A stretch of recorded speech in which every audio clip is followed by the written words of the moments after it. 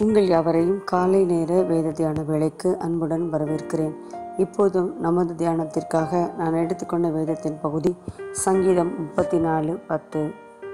சிங்க குட்டிகள் தாழ்ச்சியடைந்து பட்டினியாயிருக்கும். கர்த்தரை தேடுகிறவர்களுக்கோ ஒரு நன்மையும் குறைவுபடாது. கர்த்தரை தேடுகிறவர்களை சிங்க குட்டிகளோடு கூட வேதம் ஒப்பிட்டுச் சொல்கிறது. சிங்கம் மிருகங்களிலே மிகவும் பலசாலியான ஒரு மிருகம். அதனுடைய கர்ஜனைக்கும் கர்ச்சிப்புக்கும் முன்பாக எந்த மிருகமும் நிற்க முடியாது. அவ்வளவு பலசாலியான ஒரு மிருகத்தினுடைய குட்டிக்கும் கர்த்தரை தேடுகிற ஒரு விசுவாசிக்கும் வேதம் ஒப்பிட்டு சொல்கிறது. நல்ல பலம் இருக்கிறது நல்ல குரல் பலம் இருக்கிறது. அடுத்தவர்கள் வந்தால் உடனே குரலை கேட்டு கம்பீரமான தோற்றத்தை கேட்டு பார்த்து விட்டு ஓடி போகிற அளவுக்கு சௌரியவானும் ஒன்றுக்கும் பின்னடையாத போர்க்குணம் நிறைந்த சிங்கத்தினுடைய குட்டிகள் கூட பட்டினியாய் இருக்கக்கூடிய சூழ்நிலைகள் வரலாம். ஒருவேளை கால சூழ்நிலைகள் மாறுபடும் போது அதிகமான மழை அதிகமான வெள்ளப்பெருக்கு இப்படி ஏதோ ஒரு சூழ்நிலை வரும்போது அந்த சிங்கம் தன்னுடைய இருப்பிடத்தை விட்டு வெளியே வர முடியாத ஒரு சூழ்நிலைக்கு தள்ளப்படுமானால் அதனுடைய குட்டிகள் பட்டினியாய் மாறுவதற்கான வாய்ப்புகள் அதிகம்.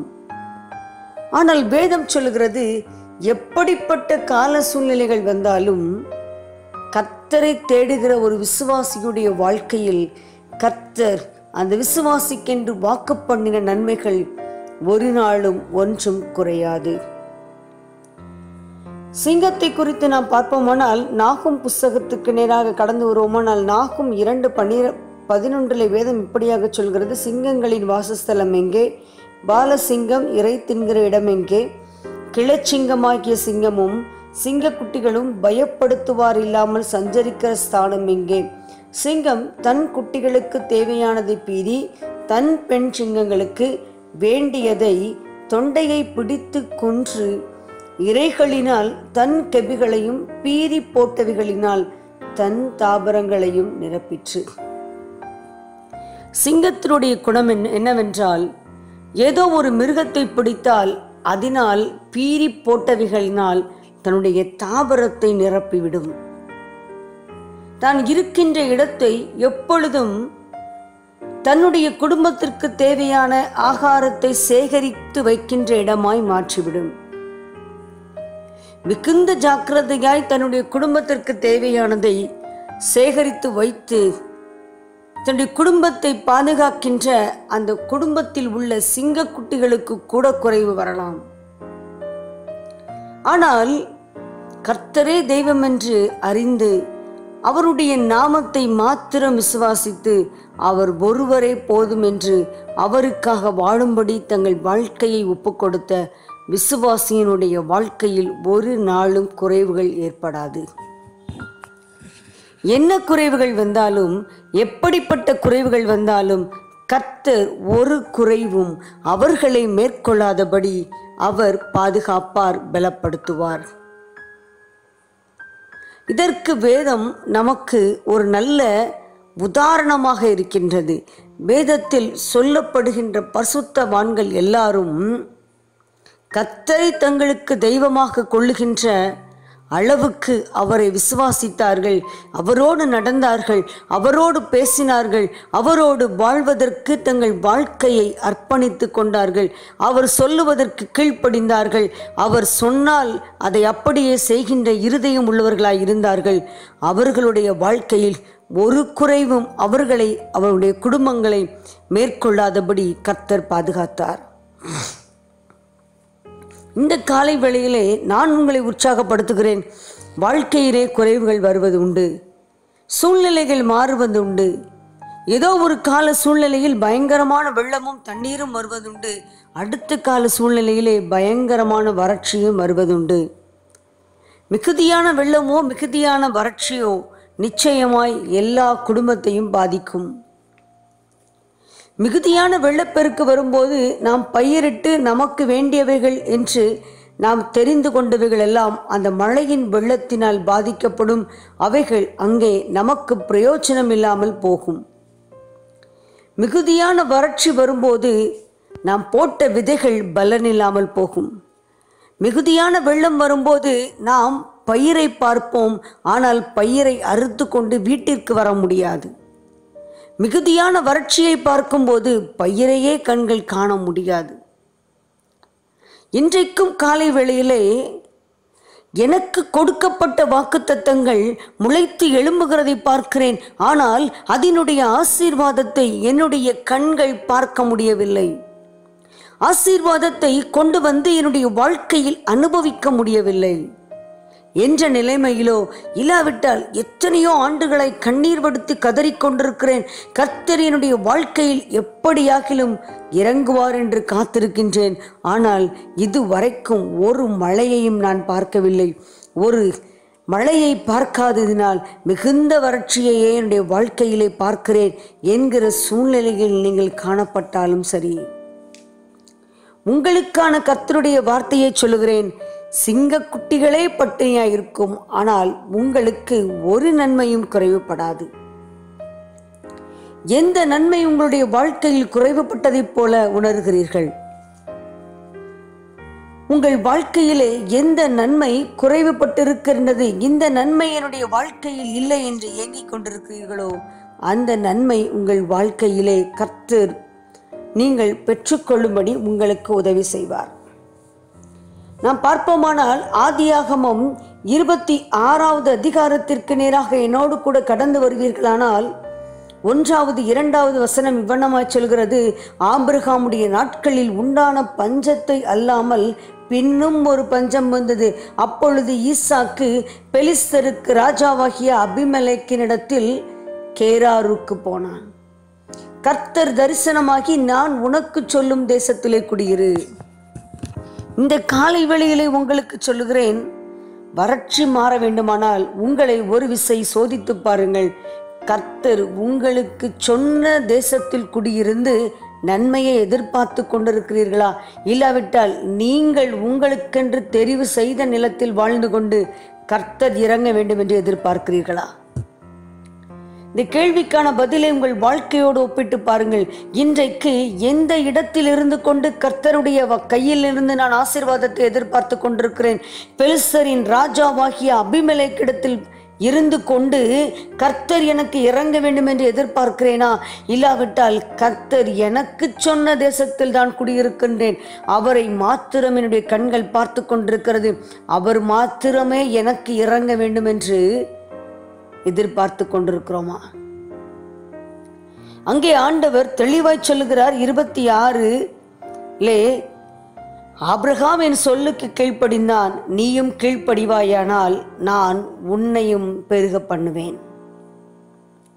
கீழ்ப்படுதல் என்பது எப்படிப்பட்டது என்றால் நம்முடைய சொந்த எண்ணங்களில் ஒரு சதவீதம் கூட சார்ந்திராமல் நூற்றுக்கு நூறு அவருடைய திட்டத்திற்கு நம்மை விட்டு கொடுப்பது. என்னவானாலும் நீர் போதும் ஆண்டவரே.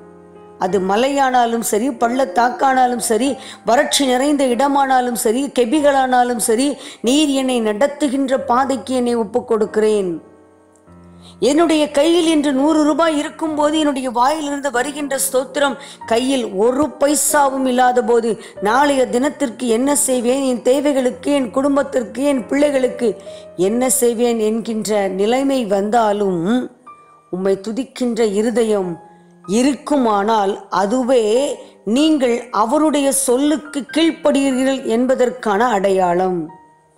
ஏனென்றால் அவருடைய சொல்லுக்கு கீழ்ப்படிந்து நடக்கிற மனிதனுக்கு உலகத்தின் ஆசீர்வாதங்கள் ஒரு பொருட்டல்ல. அந்த மனிதனுக்கு தெளிவாக தெரியும் எனக்கு தேவையானதை கொண்டு வந்து தருவதற்கு தேவனால் ஒரு காகத்தை அனுப்ப முடியும். இல்லாவிட்டால் தூதர்கள் சாப்பிடுகிற வானத்தின் பலகணிகளை திறந்து அந்த தூதர்கள் சாப்பிடுகின்ற மன்னாவை கூட எனக்கு தர முடியும்? ஒரே ஒரு கேள்வி கர்த்தருக்கு கீழ்ப்படுகிற இருதயம் உங்களிடத்தில் இருக்கிறதா? கர்த்தருடைய சொல்லுக்கு கீழ்ப்படிந்திருக்கிறீர்களா? கர்த்தர் சொல்லும் தேசத்திலே குடியிருந்திருக்கிறீர்களா? இந்த இடத்திலே நீங்கள் இருப்பீர்களானால் கர்த்தர் உங்கள் வாழ்க்கையிலே பெரிய காரியத்தை செய்வார். பாருங்கள் கீழ்ப்படிந்த அந்த ஈசாக்கனுடைய வாழ்க்கையில் அவனை சுற்றியிருந்த ஜனங்கள் அவனுக்கு சொன்ன காரியம் என்னவென்றால் நீர் கர்த்தரால் ஆசிர்வதிக்கப்பட்டவராமே. ச- புஸ்தகம் இருபத்தி ஆறு முப்பது அதிகாரம் இருபத்தி ஒன்பதாவது வசனத்திலே பார்த்தால் நீ கர்த்தரால் ஆசிர்வதிக்கப்பட்டவராமே. ஏன்? கர்த்தர் சொன்ன இடத்திலே கீழ் இருந்தார் கர்த்தருக்கு கீழ்ப்படிந்தார் கர்த்தருடைய சித்தத்தின்படி மாத்திரம் செய்தார். இன்றைக்கு நீங்கள் உங்களை இந்த காலை வேளையிலே அலசி பாருங்கள். வருஷ கடைசியிலே நாம் இருக்கின்ற இந்த மா கடைசி மாதம் முழுவதும் நம்மை அலசி பார்த்து தேவனுடைய திட்டத்திற்கு நாம் நம்மை விட்டு கொடுக்கிற நாட்களாக இது இருக்கட்டும். தேவன் சொல்லும் இடத்திலே ரெஹோபாத்தை நாம் பார்க்க முடியும்.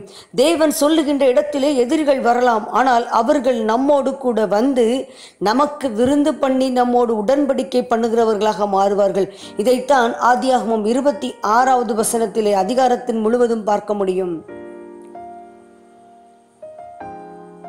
ஆட்கள் வந்தார்கள் வெட்டின துறவுகள் எல்லாம் துகத்து துவத்து போட்டார்கள். ஆனால் வேதம் சொல்கிறது அதே அதிகாரத்திலே கர்த்தர் ஒரு ரெகோபாத்தை காணும்படி உதவி செய்தார். ரெகோபாத்தை காணும்படி உதவி செய்தார். கர்த்தர் அந்த இடத்திலே அன்று ராத்திரியிலே பெயர் சபாவிலே தரிசனமாகி பேச ஆரம்பித்தார்.